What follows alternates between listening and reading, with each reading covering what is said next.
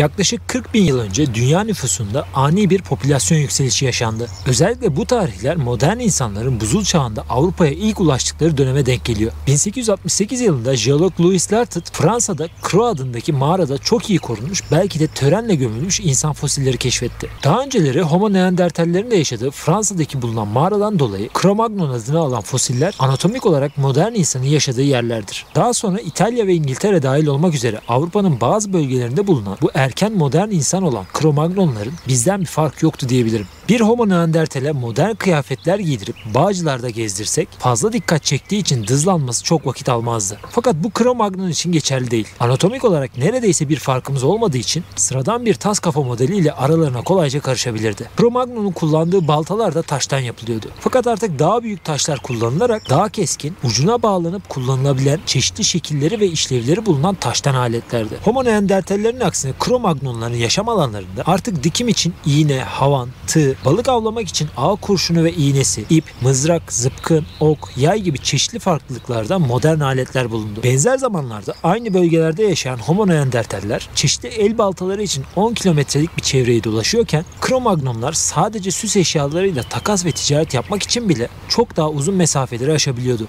Bilim insanları özellikle Akdeniz canlılarının kabuklarını Fransa, İspanya ve Ukrayna'nın iç kısımlarında da buldular. Geliştirdikleri sanat, süs eşyası ve ticaret anlayışı Cro-Magnonların hayatta kalmasının önünü açmış olabilir. Lasaks gibi mağaralar Cro-Magnonların bu konularda kendilerini geliştirmeye ne kadar çok istekli olduklarını gösteriyor. Cro-Magnonların yaşam alanlarında bulunanlar sadece basit iğnelerden ibaret değildi. Onlar duvar resimleri, kabartmalar, kolye ve kolye uçları, fırınlanmış kilden seramikler, geniş kalçaları ve memeleri olan Venüs heykelleri ve flüt gibi sanat eserleri de yapan insan topluluklarıydı. Homo neandertaller maksimum 40 yaşına kadar hayatta kalmayı başarır ve çok nadir 50'li yaşlara gelebilirken sosyal iletişimin ve dayanışmanın güçlendiği Cro-Magnonlar 60 yaşına kadar hayatta kalabiliyorlardı. Cro-Magnon'un bilgiyi yazarak yani bir yerlere, duvarlara, taşlara çeşitli şekiller bırakarak aktarması hayatta kalmasında en önemli dönüm noktalarından biriydi. Bir bitkinin ya da hayvanın zehirli, tehlikeli olduğunun bir sonraki nesillere veya komşu klanlara aktarılabiliyor olması Cro-Magnonlara Homo neandertaller karşısında neredeyse bir ömür denilebilecek kadar toplamda 20 yıl zaman kazandırmıştı. İlk başlarda bazı bilim insanları Homo neandertallerin Cro-Magnonlardan evrimleşmiş olabileceğini öne sürdüler.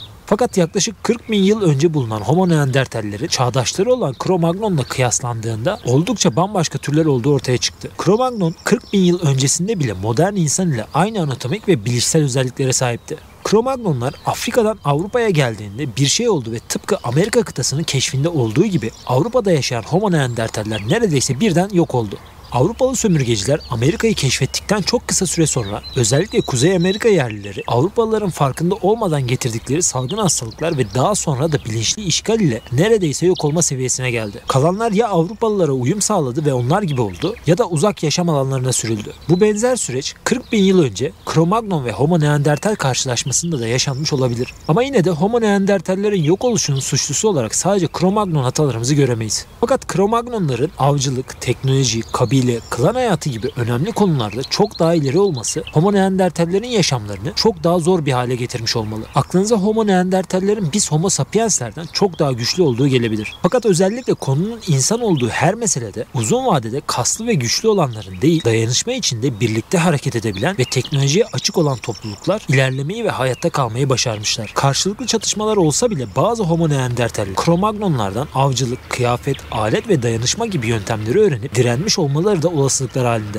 Max Planck Evrimsel Antropoloji Enstitüsü'nde görevli paleogenetik bilimci Kai Prüfer, modern insan DNA'sının Neandertal gen havuzuna yaklaşık 130 ila 145 bin yıl önce girdiğini düşünüyor. Cro-Magnonlar ve Homo neandertaller de mutlaka karşılaştılar ve hatta çiftleştiler. Fakat henüz bu ikisinin melezi diyebileceğimiz bir fosil kanıtı yok. Ayrıca anatomik yapılarını göz önüne alırsak dişi bir Homo sapiens'in erkek Homo neandertal ile çiftleşmesi sonucu hamilelik süresi kısa olacaktır. Fakat neandertal bir babaya sahip olduğu için çocuğun gelişimi henüz tamamlanmamış olmasına rağmen büyük kafa anne için doğumunda sorun olacaktır. Böyle bir durumda annenin bu doğumu hem kendi hem de bebeği için sağlıklı bir şekilde gerçekleştirmesi çok zor bir ihtimal. Bu doğum gerçekleşse bile erken bir doğum olacağı için bebeğin yaşaması da pek olası görünmüyor. Eğer hamile kalan dişi bir Homo neandertal olduysa bile Homo sapiens babadan kaynak 12 aylık doğum süreci çok uzun olabilir ve yine bu doğum bebeğin ve annenin ölümüyle sonuçlanabilirdi. 2017 yılında Science Direct'te yayınlanan bir makaleye göre de Neandertal erkek ve modern insan dişisi birlikte olduğunda az önce bahsettiğim gibi genellikle düşükle sonuçlanacak doğumlar yaşanıyordu. Öyle ya da böyle özellikle Avrupa'daki insanların %2 ila %10 oranında Homo neandertal DNA'sı taşıdığını düşünürsek çiftleşmelerin bir kısmı başarılı olmuş olabilir. Ya da daha büyük bir olasılık bu genler iki türün çok daha eski ortak bir atasından kalan miraslardır. Bazı araştırmalar Homo neandertallerin konuşma yetilerinin zayıf olduğu ve dil geliştiremeyeceklerini söylüyor. Konuşma modern insana evrimleşen Cro-Magnonlarda aile, avcılık ve kabile içi iletişim için çok önemliydi. İki tür arasında çiftleşmeler ve birliktelikler olsa bile Homo neandertaller ile dil iletişimi kuramamak Cro-Magnonların onları seçmemesi ve ürememesi için yeterli bir sebep olabilirdi. Cro-Magnonlar dil becerisi olmayan bir Homo neandertale aile ve sürü içi hiyerarşiyi, yeni modern aletlerin yapımı ve kullanımını, hangi bitkilerin zehirli ya da ilaç görevi gördüğünü, stratejik avlarda grup içi taktik, teknik ve görev dağılımlarını anlatamazlar. Avlanacak tek büyük bir avın bile kabile geleceği için kritik öneme sahip olduğu düşünülürse rekabet halinde olmasalar bile Homo neandertalleri kabile içine dahil etmeyerek dışlamış olabilirler. Daha doğum ve ölüm gibi anlarda soyut anlam taşıyan ve açıklaması neredeyse imkansız olan çeşitli dini ritüellerin Homo neandertallere aktarılmasını saymadım bile.